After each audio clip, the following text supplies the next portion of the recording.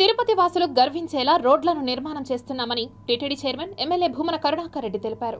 Tirupati Hare Rama Hare Krishna road నుంచి చెన్నారెడ్డి కాలనీకి అనుసంధానం చేస్తూ కార్పొరేషన్ ఆధ్వర్యంలో తొంభై ఐదు పాయింట్ రెండు సున్నా లక్షల రూపాయల వ్యయంతో నూతనంగా నిర్మాణం చేసిన అభయాచరణారవింద భక్తి వేదాంత స్వామి ప్రభుపాదుల మార్గాన్ని శనివారం TTD chairman MLA Bhumana Karunakar Reddy mayor doctor Sirisha deputy మేయర్లు Bhumana Abhinay Reddy Mudra Narayana commissioner Aditi Singh ISKCON మందిరం chairman Revathi Ramanadas vice chairman Rupesh Prabhu కార్పొరేటర్లు ప్రారంభించారు. ఈరోజు మరో ముఖ్యమైనటువంటి రహదారిని ప్రారంభించటం జరిగింది.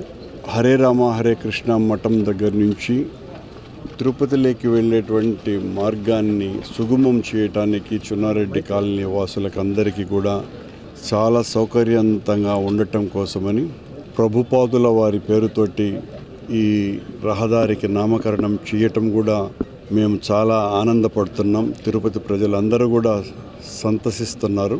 చాలా అద్భుతంగా వచ్చింది రహదారి కూడాను. ఇది ప్రజలకందరికీ కూడా చాలా ఉపయోగపడబోతుంది.